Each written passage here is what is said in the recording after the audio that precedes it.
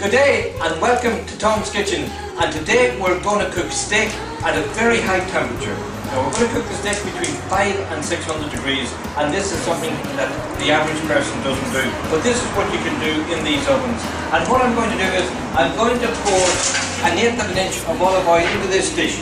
Now these are ordinary just tin foil dishes that you can throw away if you don't want to go the hassle of cleaning dishes. Now this is perfect, there's no problems whatsoever.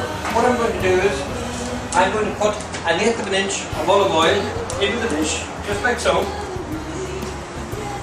Not too much, just enough. I've marinated my, my steaks overnight. I'm going to put them straight in. And what I'm going to do, I'm going to cover this with tin foil.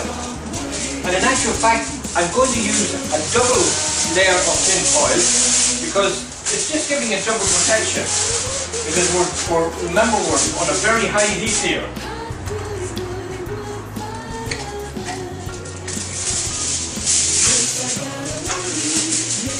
there we go. Uh, since it's been marinated overnight, you can marinate it whatever way you like. This is uh, just garlic and pepper I used here.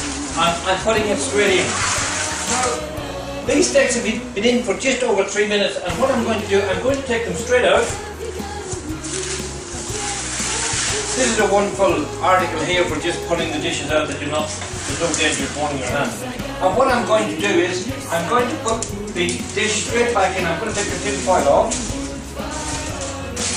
Now these are cooked absolutely beautifully, but what, what we're going to do now, as you can see there, we're going to brown it up and I'm going to put it straight back into the oven.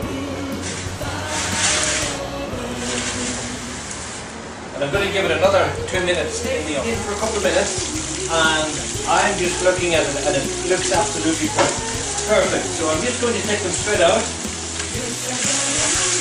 Oh yes, that is absolutely fantastic. Now I'll just turn it up so you can see the dish. There you can see it, they're just cooked absolutely beautiful.